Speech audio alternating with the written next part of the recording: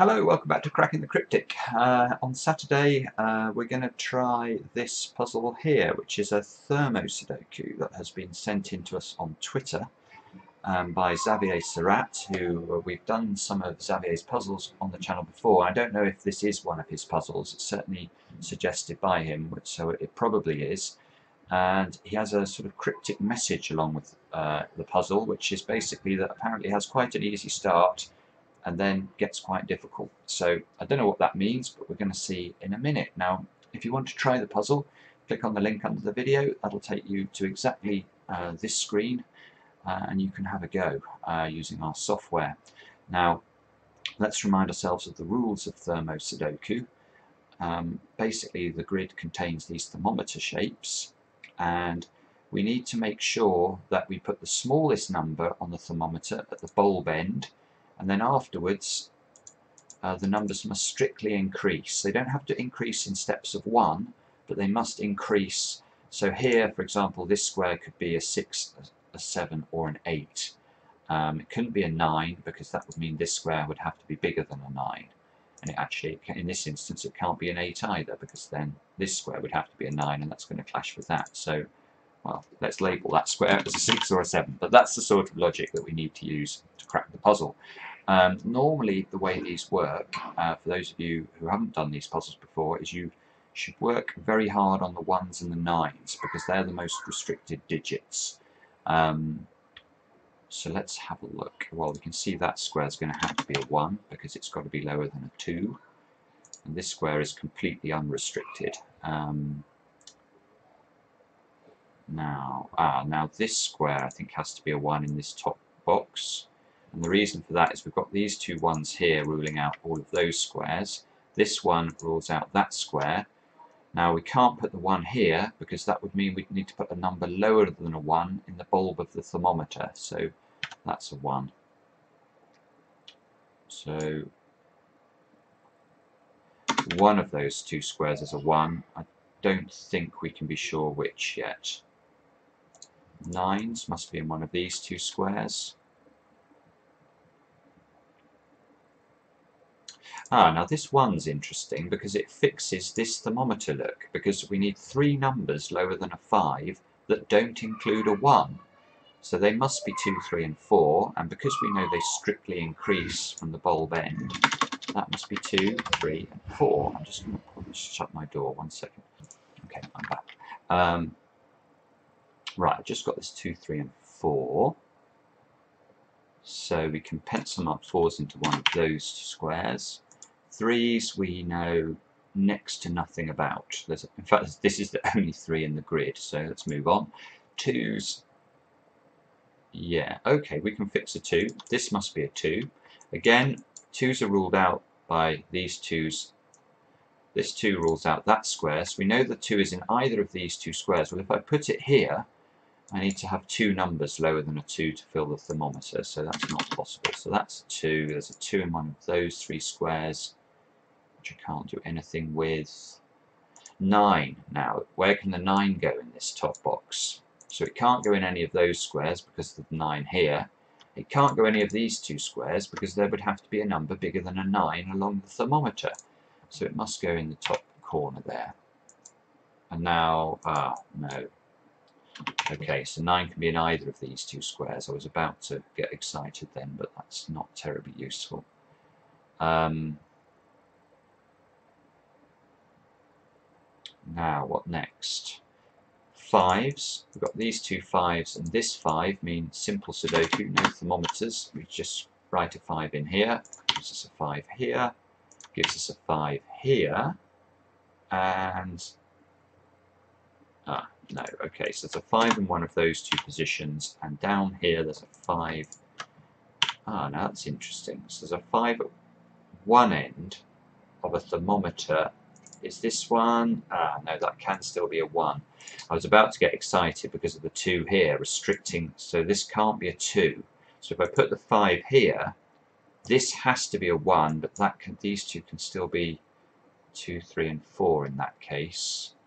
Ah, but we've got 2's, there's a 2 in one of those squares, so there's 2 in one of these squares, so there's no 2 So if this is a 5, this has to be 3, 4, this has to be 1.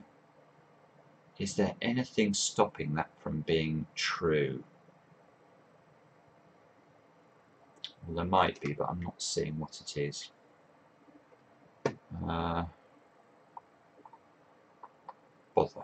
Okay, right, so, but that, hang on, if this can only be 6 or 7, oh no, this could still be 8. Okay, let's have a look over here. So these three squares are 6, 7 and 8, which means, well, hang on a minute, that can't be, if this is an 8, that would force a 9 here, which clashes with that. So that's not 8. This can't be 8, because that would make these have to be 9 and then a number bigger than 9. So that's not an 8. So this is the 8, and these two increase along the thermometer. So this is a 6 and this is a 7, which means one of these two squares is a 7.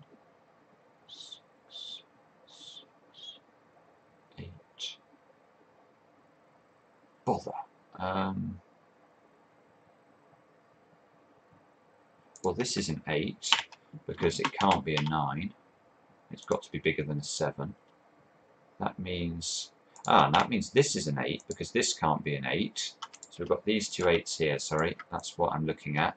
We can't put an 8 into this square because that's going to mean we need three numbers bigger than an 8. That's not possible. So this is an 8.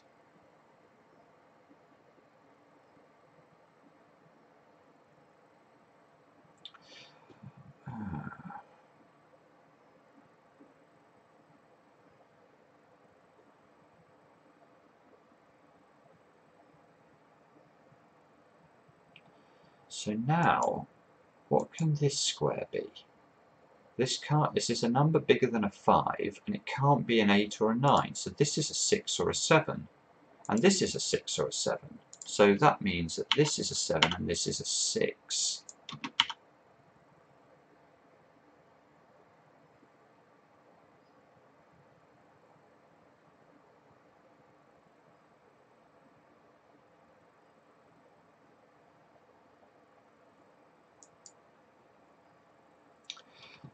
Now, hang on Where can an 8 go in this block?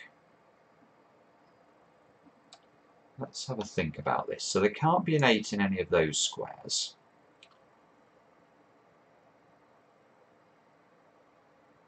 Now,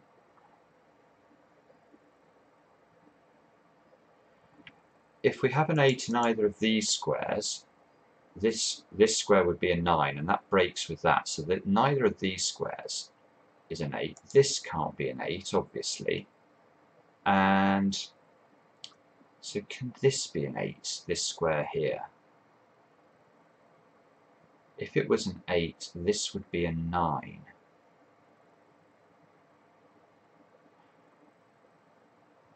is there any reason... Ah no, hang on, there's a 9s here and here, so there are 9s in those two squares. So this doesn't contain a 9. So the 9 is along these three squares in this block. So where can an 8 go? An 8 can't go there, it can't go here, it can't go here, it can't go here, and it can't go here. So there is an 8 in one of those two positions. There's a 5-8 pair now in this block.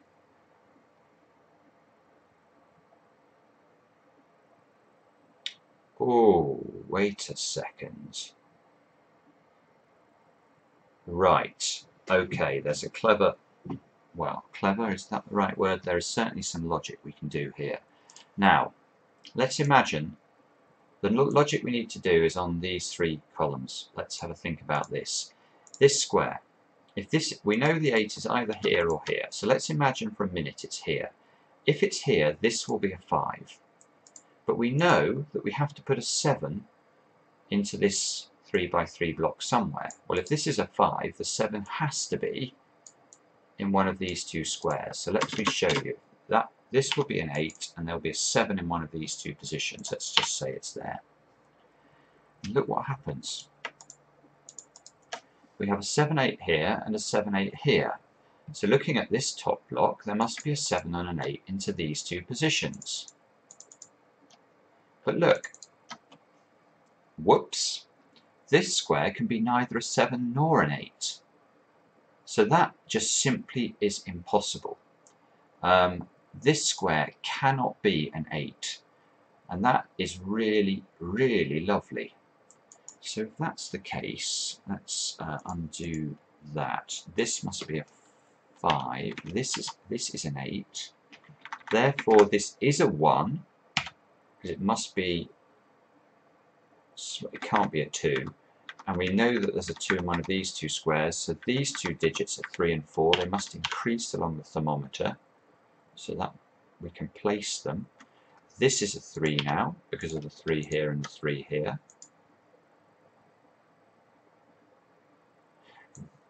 This is a 3.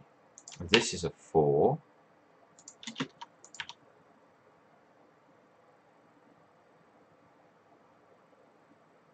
And this 4 here forces a 4 into this square because of the earlier pencil marking we did.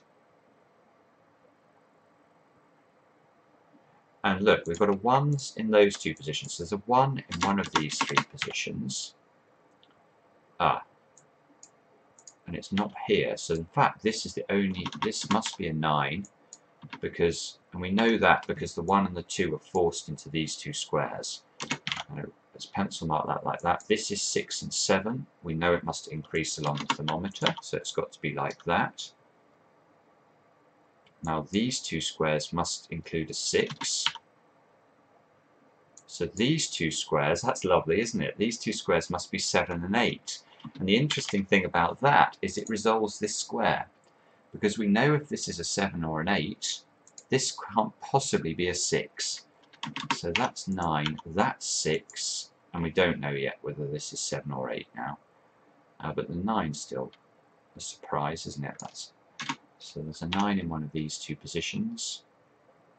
And these three squares must be, need a 3 and a 7 to complete this row. So this this is 3, 4 and 7. That's not a 7. That's not a 4. We don't know anything about that one. Right, let's see what we can do now, because this 7 points at that square, so that resolves a 7 and the 2. There must now be a 2 in one of those two positions. This is not a 7.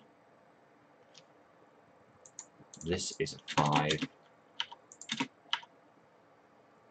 So we need 3, 4 and 6. So that's a 6 then. This is 3 and 4, which is resolvable by this 4. So that's 4, that's 3.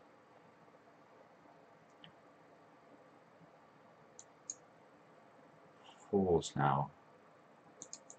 Uh, yeah, this must be the 4.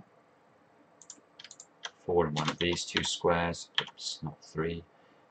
In this block we need 1, 6 and 7, so this 6 fixes that.